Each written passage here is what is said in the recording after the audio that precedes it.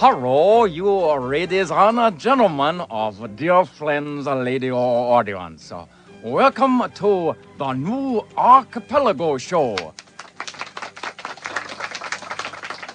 Oh, thank you very much. Me, all the same, your host, plays the next run. Here, all Asian guests starring Chucho Yamamoto.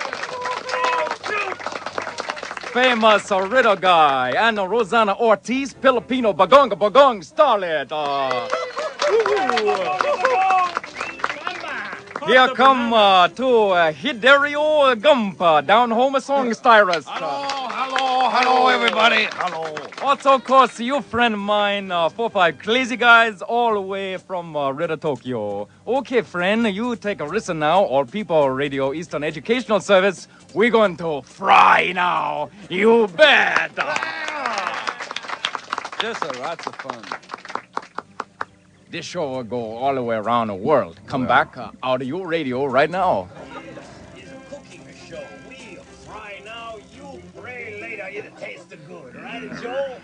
You suddenly have become uh, strange music into my ear.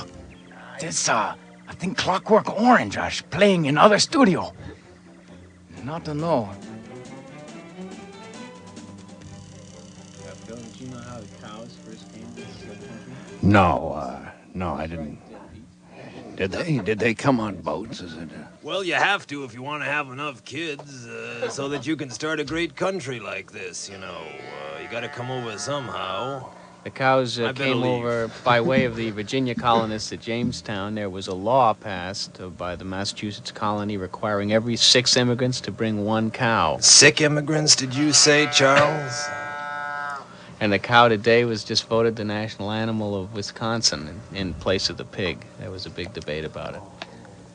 Yeah. Oh, I think we just land.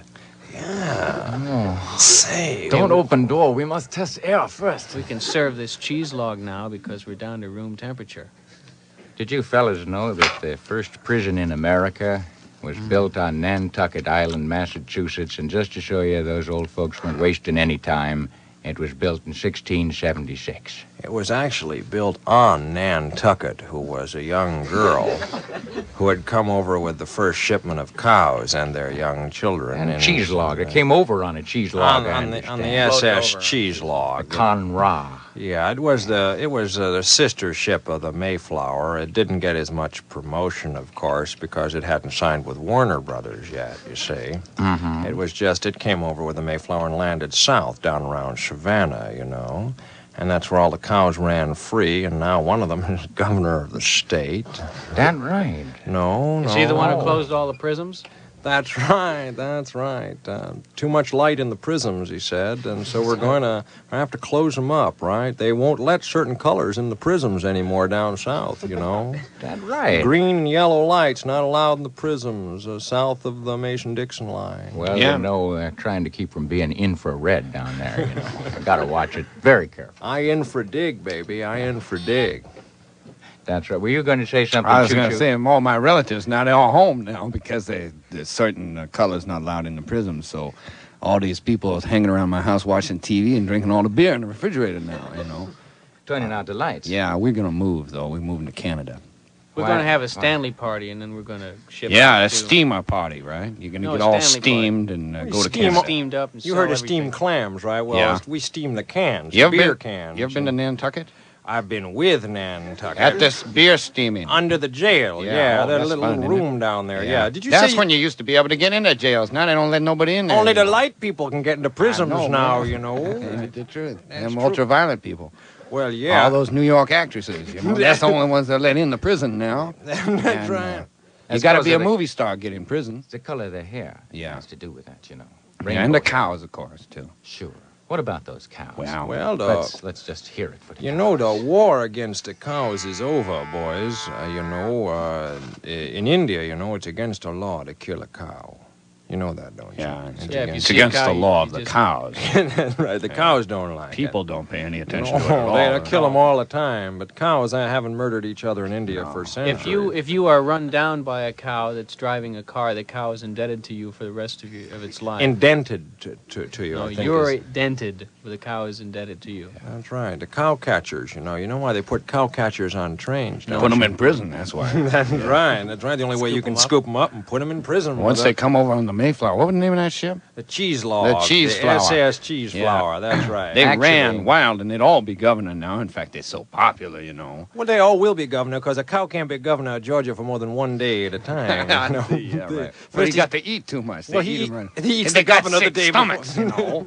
What are we gonna do with a governor with six stomachs? We better put him back into office, you know, because he's a lot more dangerous out of office than I he know, is in I know. office. He ate all the rose bushes around the governor's mansion. And that's the senators. You know what I mean? I know, I know. I was descended from them. Ever since the flowers got the vote, you know. Oh yeah, they got the vote The too. flowers got the vote now too. What yeah. about the flies? the, the flies can't vote because they's too radical, you know. No fries in a China. We got to rid of all fry. How's that you do that? We fry them. You fried them to where? Oh no, we fry them to eat. To put in stomach of a cow. Right. Oh, he like that. He say, I want the mao. I want the mow. Oh, now fly mao cow. All right? cow in China, they say mao, not the moo. Everybody in China say a mao. You bet in a big chorus too. No, can't bet in China. Oh.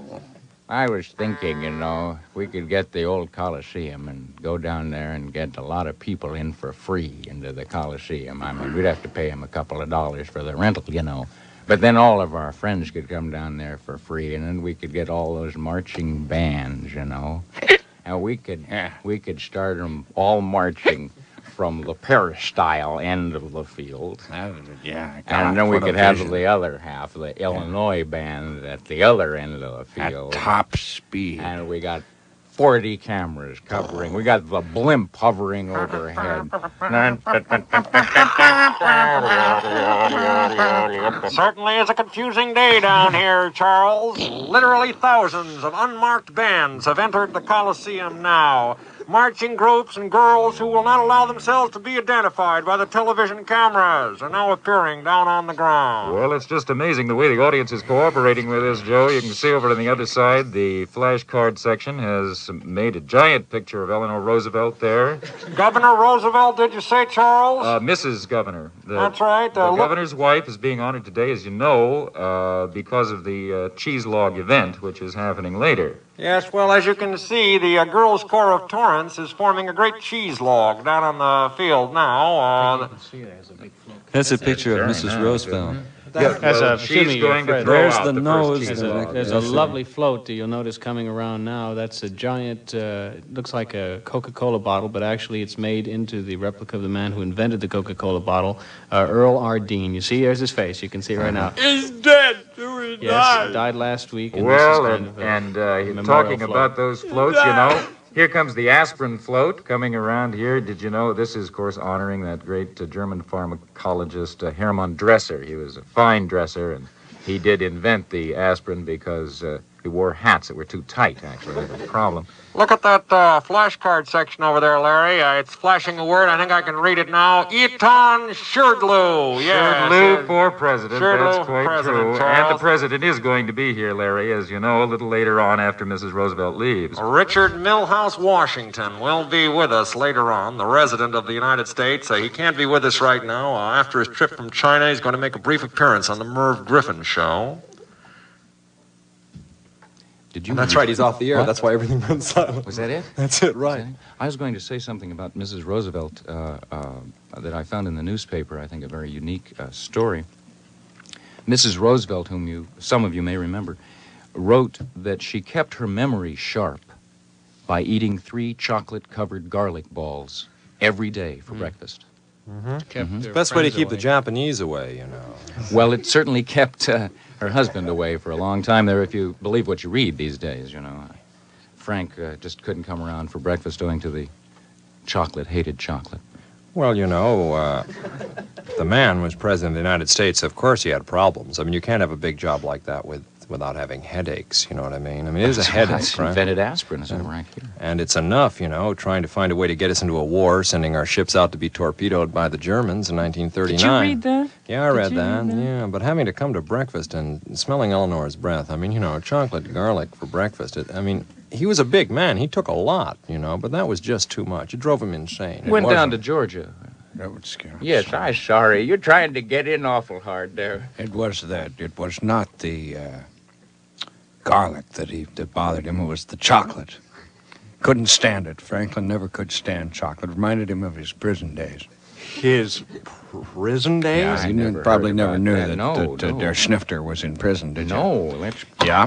bring this to order here. He was in uh, he was in the Purge prison, in the Beer Hall Purge prison on Nantucket. You know where that is? Yeah, that's uh, right near our icebox where we keep all the cows. That's right. That's right. Right. Is well, it Frank. true that all the mirrors in What? his house were Would you- turned facing the wall Yes, that's true. so he could comb the back of his hair?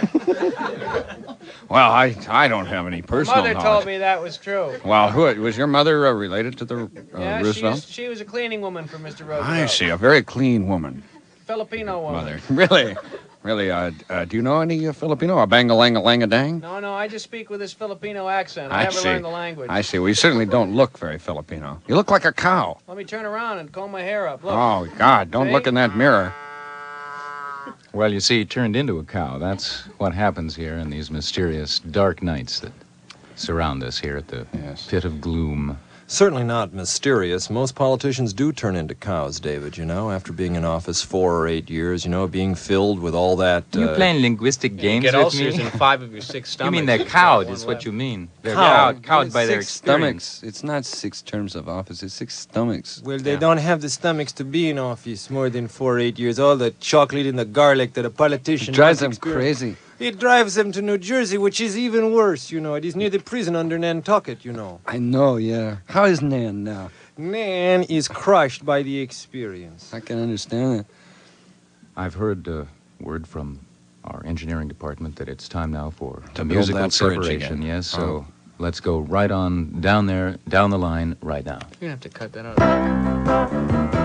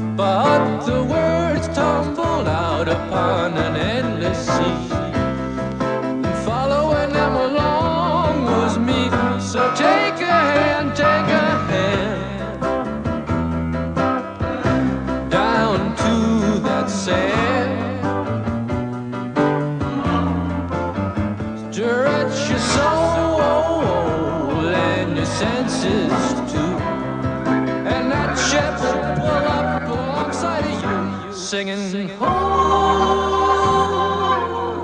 you can make it out if you listen clear. Oh, it's nothing you wouldn't want to hear. singing, singing, singing, folderol, singing, singing, elves, something about tall, singing, singing, holy,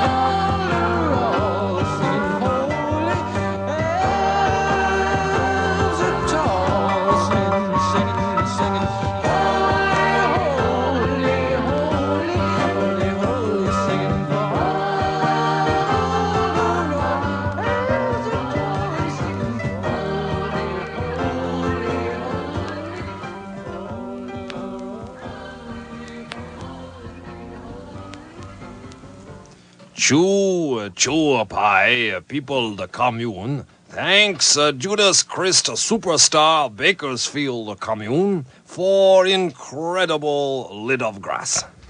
Oh, now time for short uh, advertisement. Ano ang hinahanap ko sa lalaking umiinom? Well, let's find out by asking our guest, Miss Rosanna Ortiz.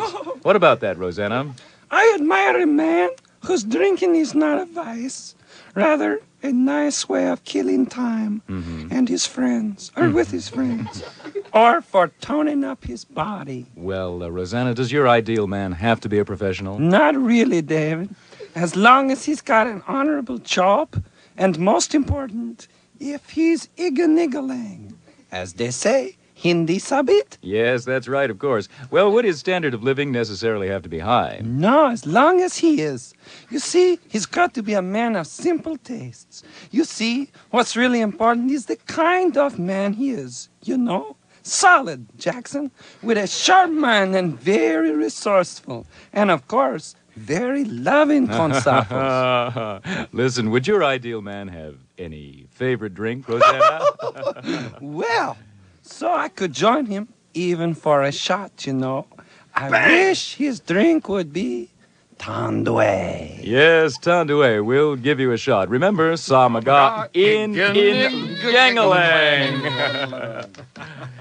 Tanduay Distillery, Luzon, the Philippines. Say, uh, 10 lovely 16 year old girls who had never gone out on a single date were officially presented to President Dudley Trederia of the Adelaide, Australia stake recently in one of the most colorful balls South Australian church members had ever seen. Wait a minute. Whew. Boy, that's something I don't even have no comment Was for that a religious item? I don't It is, know. a, it is a religious item. That is why they call it. That is why they call it down under in Australia because everybody is down under the weather. Also because it is the bottom of the world, you know, and the pressures are incredible there. The oceans keep falling over the land. The psychic pressures I are bet- terrible I too. bet you you know? guys don't There's know- no one to talk to on the phone in I Australia. bet you guys. No. Hey, What? Step up closer to the microphone. no, I don't want to. I bet you guys uh, don't know what Yucatan, the country, the name come from. How much?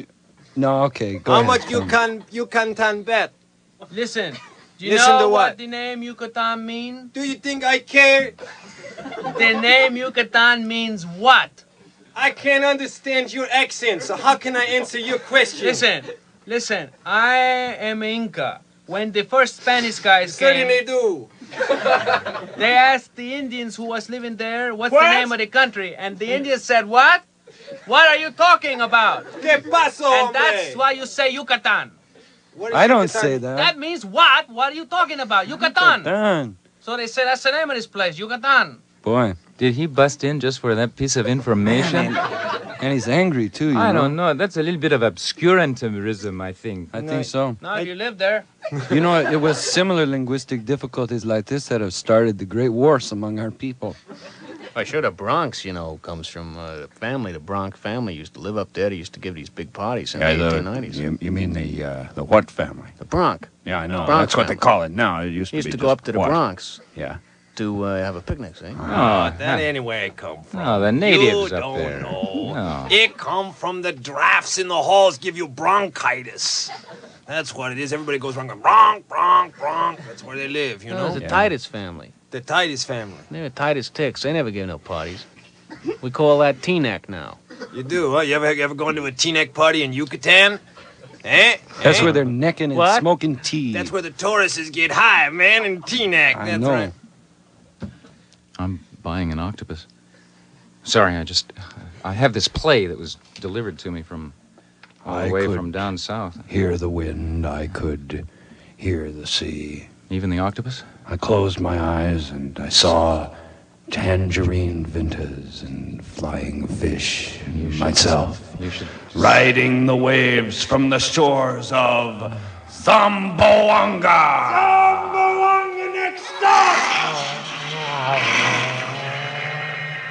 This uh, obscure story of Filipino playwright uh, trapped in absurd drama.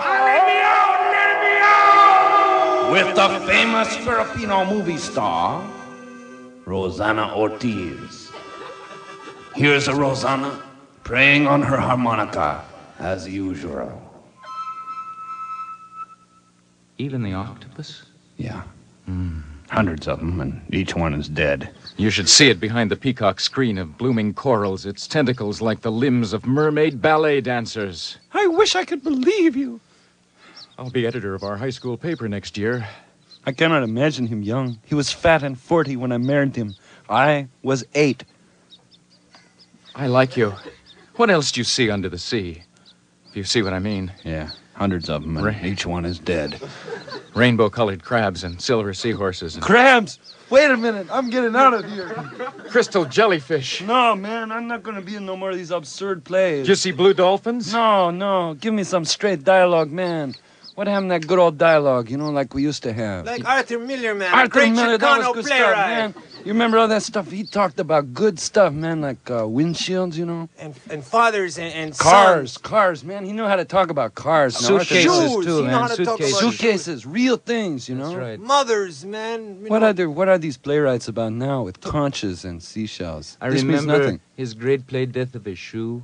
That was wonderful. Of a shoe salesman. The That- death, that, uh, was that it? Yeah. I thought it was the shoes Well, that was know. dying, you know, because he, Oh. got, he was very old and his shoes lost No, their oh, it was tongue. debts of a salesman, wasn't it? Yes, yes, it was. Sure, buddy. The guy These, was these to pay for his foreigners are wrong. Yeah.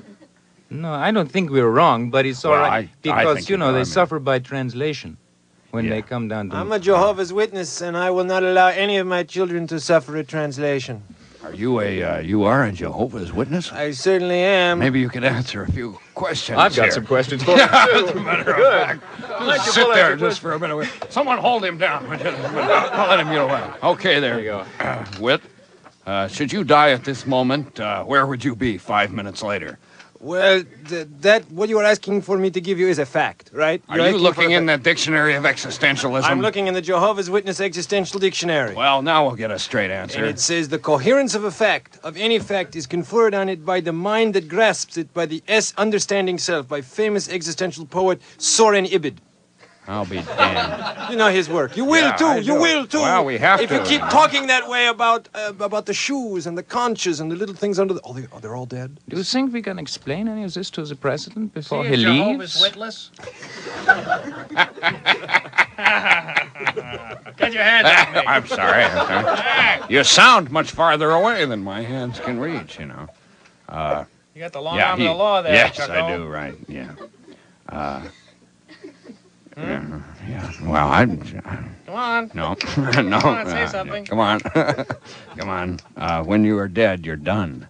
And, uh, Don't look at me when you talk. oh, okay, God. Avert your eyes. Uh, I'll poke them out like this. Ow! Oh, those are fake. yeah. What are those, two Steelies? That's very good. Okay. Listen.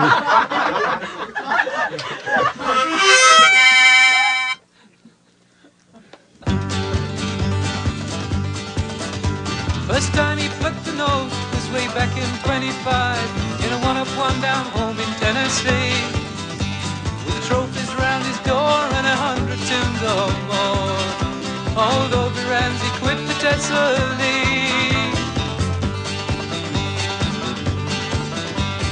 He settled down near Asheville just a short while out of town. And he grew tobacco on the mountainside. In a string along with Bayard on occasions he would play. Then soon to farm or pick he must decide. Oh, Gray Ramsey,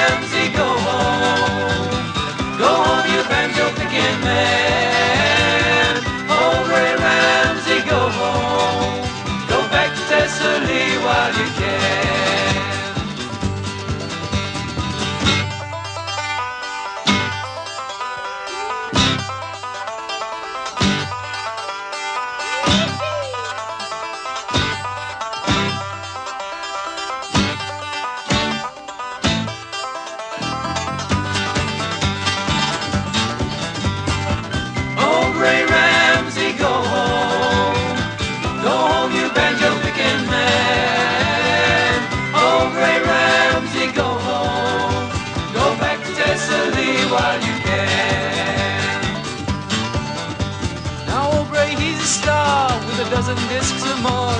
And he shifted from New York to Tennessee. But he's one up, one down home with a string beans round the door. He's biding time at the hands of Tessa Lee. Oh, Gray Ramsey, go home. Go home, you banjo picking man.